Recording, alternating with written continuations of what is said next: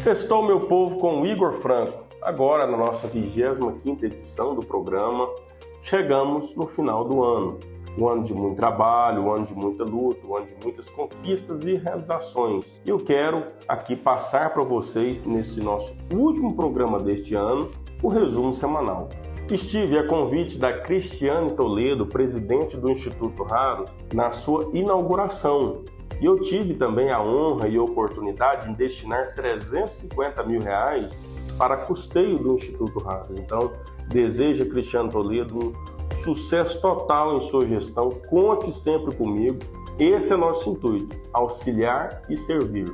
Nós fizemos a confraternização lá no núcleo do projeto Passaporte para a Vitória do Real Conquista vocês podem observar que nós fizemos em todos os núcleos e no próximo ano nós temos mais núcleos chegando em Goiânia, mais núcleos chegando na nossa capital e nós atenderemos quase 4 mil alunos no ano de 2024. Quero que esse benefício chegue até você e quem sabe do nosso projeto revelará mais craques do futebol.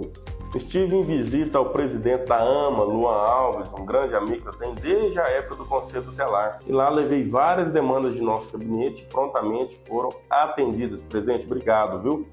Visando melhorar o atendimento do IMAS, eu fiz uma visita ao presidente Marcelo, onde levei sugestões a ele para melhorar o transporte de pacientes de alta e baixa complexidade. Estive presente como membro da Comissão de Saúde desta Câmara Municipal, na prestação de contas do secretário de Saúde. A convite da minha amiga Ravena, estive na Rádio Sucesso FM em companhia do vereador Marquinhos Goiá. Fizemos um bom debate e trouxemos boas informações para a cidade de Goiânia.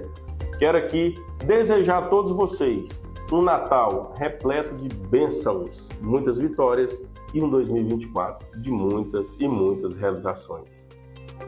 Thank you.